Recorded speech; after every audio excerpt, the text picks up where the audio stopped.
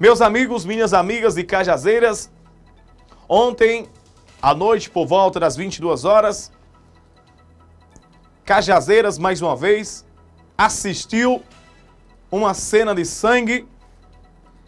E aí, Jocelano Lúcio, meu editor-chefe, ontem, encerrando o programa, dava notícia justamente sobre o IML, já que a prefeita Denise juntamente com a comissão formada pela equipe do senador Vital do Rego Filho, juntamente com a equipe do governador Ricardo Coutinho, o próprio secretário de Saúde, decidiu justamente a implantação, meu querido Jocelano Lúcio, do IML aqui em Cajazeiras. E aí eu quero parabenizar o deputado Vitoriano, a prefeita Denise, que vem demonstrando como fazer política nessa cidade sem querer destruir ninguém, sem querer perseguir, fazendo o trabalho dela. Isso é bom. E aí, ó, Vitoriano, Denise, Zé Aldemir, todos unidos por uma causa só. Esse benefício por Cajazeiras. Ontem à noite, poderia ser mais um assassinato, já que é o nono, e a violência continua crescendo. E foi lá no meu bairro, moro vizinho, eu moro nas Capoeiras, vizinho a minha querida Asa Sul. Cidadão de 43 anos, estava lá de bobeira. Os caras chegaram numa moto, ó, pá, pá, pá, cinco tiros. O cara correu, não deu tempo, só deu tempo cair na casa de um tio, já que ele estava indo para essa residência. Tá aí a foto dele. Perdeu a vida, conhecido como Neguinho de Corema, né? Mais conhecido popularmente. E aí, meus amigos, bota aquela, aquelas imagens que eu mandei você separar. Era por volta de meia-noite e quarenta, eu resolvi fazer uma gravação. Só tinha a polícia vigiando o corpo e algumas pessoas, cerca de 10 ou 15 pessoas. E eu comecei a filmar, só o corpo lá o corpo estendido no chão, esperando a boa vontade dos profissionais, que aí eu digo que é boa vontade mesmo, de vir, olha as imagens aí, ó. O corpo tá lá na porta, ó. Tá lá na porta, tem ninguém. Os companheiros dele era um gato e um cachorro, bem pertinho que tava lá. Quase uma da manhã. Esse cidadão estava estendido lá. Por quê? Não tem perícia. Faltava o IML. E aí, não é culpa dos delegados de Cajazeiras, não é culpa da polícia de Cajazeiras, porque eles fazem o trabalho dele. A polícia chega, isola a área, a polícia civil tem o primeiro contato com o corpo.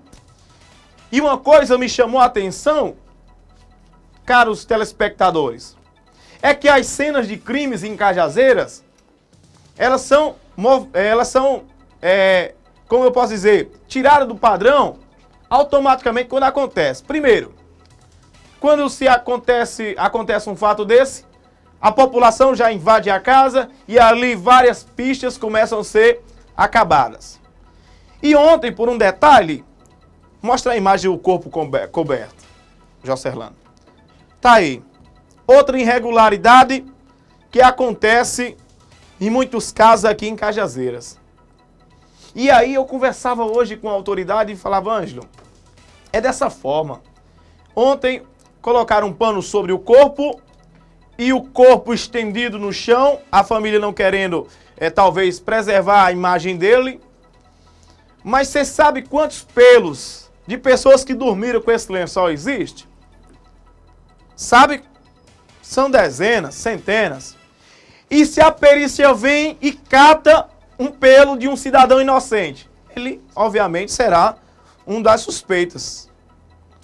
Então, está acontecendo em Cajazeiras justamente, e aí eu estou pedindo um apelo da população, que quando houver um fato desse, isola, faz um círculo, deixa aí, deixa a polícia chegar, para que a polícia possa trabalhar, para que não possa acontecer o que aconteceu ontem. E a perícia, quando chega, diz: ó, tem uma marca aqui no olho, ele diz espelho de que é. Aí vão dizer, não, foi um lençol que colocaram em cima. Mas por que colocaram? Vocês estão desaprendendo, né? Então é preciso que a população comece a colaborar também, porque aí não foi o último, não. Nem foi o primeiro, nem será o último. Só esse ano, nove assassinatos em Cajazeiras. E desses nove, eu digo a vocês, 90%, 99% tem droga no meio. Viu? 99%. É a droga dominando e fazendo suas vítimas, seja criança, seja jovem, pai de família, entrou. Só existe dois resultados. Um diz que é a cadeia, outro não é não, é caixão e vela preta, meu irmãozinho. É choro só. É morte.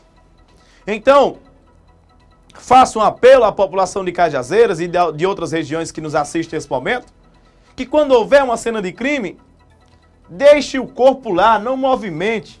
Deixe que os profissionais de saúde possam dar a primeira assistência.